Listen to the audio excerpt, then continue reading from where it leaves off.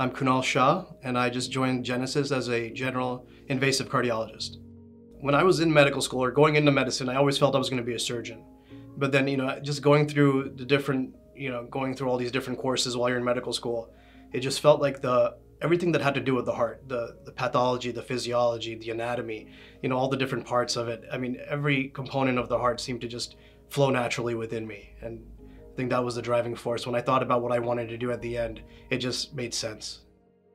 I think that, you know, whenever I approach a patient, I think empathy is extremely important. I want to understand their situation, what happened, why they're there, or, you know, why they're seeing us.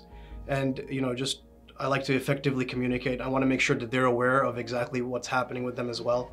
Um, you know, listen to what they have to say and then incorporate that information and let them know exactly what what our approach is going to be and how we're going to be able to help them best. And I like being honest with them. And I think that's that's you know, and the the most important fact of it is that uh, I treat the patients like I would my own family, and that's basically the main approach. The culture in the hospital is very congenial. People actually really care about the patients and want to do what's best for them.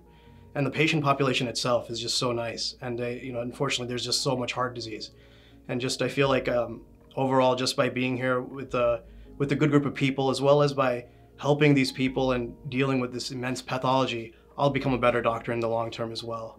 So I think that that was my main force for joining the hospital.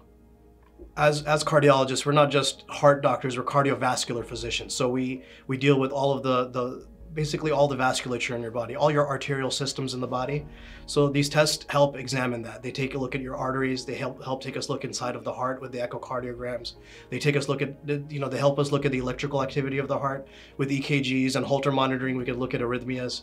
Um, we can look at the the um, you know the circulation going to the heart with the heart, heart catheterizations, and we can we can do even more um, uh, in-depth looking inside of the heart with, with procedures such as transesophageal echocardiography. One of the greatest things about Genesis is that we have all of us are, you know, all our all of our offices are on the same floor.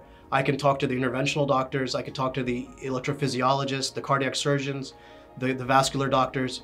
I can assess a patient and I know that I will be able to effectively treat that patient because we have everyone. It's such a, a, great team approach that I could talk to physicians. If, if, if, a person needs a stent, I can talk to an interventional doctor. If they need a pacemaker or a defibrillator, I can talk to an electrophysiologist. If there's something going on with their legs, with their circulation, I can talk to one of our vascular physicians. So it's wonderful having that, that team that's, that's so close knit and right there.